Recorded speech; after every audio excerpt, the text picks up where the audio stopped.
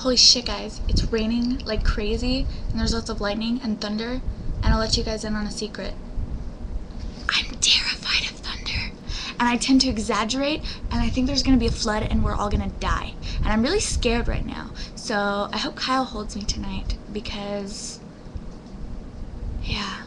And if there does end up being a flood and I end up dying, I love you guys. And it was great being on YouTube. And, thunder. I have lots of weird phobias that don't make any sense. Like that. And feet. Hmm. Mm, that's great. That's been going on the entire video. Anyways, just wanted to let you know, guys know that if I die, I love you all.